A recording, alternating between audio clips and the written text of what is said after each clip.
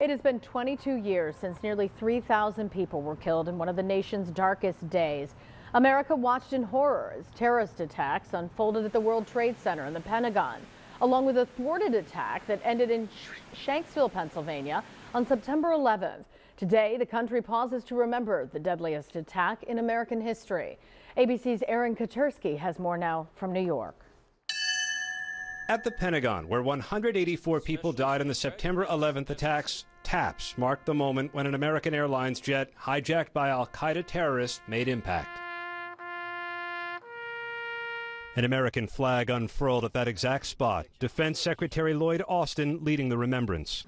The men and women of the Department of Defense will always remember.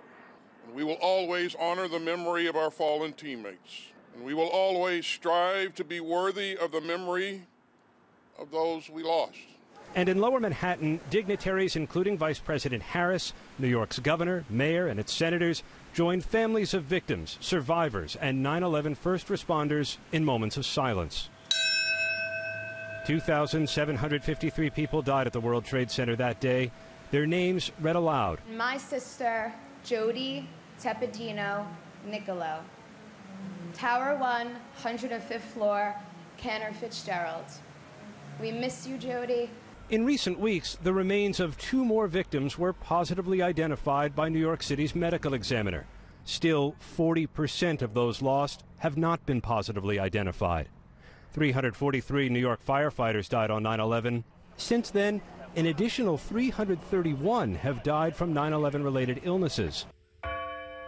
In Shanksville, Pennsylvania, they're remembering the crew and passengers of United Flight 93. Later today, President Biden will mark the tragic anniversary, addressing troops at a U.S. military base in Anchorage, Alaska. And here beneath a gleaming new World Trade Center, a new generation remembers those who were killed on September 11, 2001, many of them not born 22 years ago, but who cannot help feel the enormity of their families' losses. Aaron Katersky, ABC News, New York.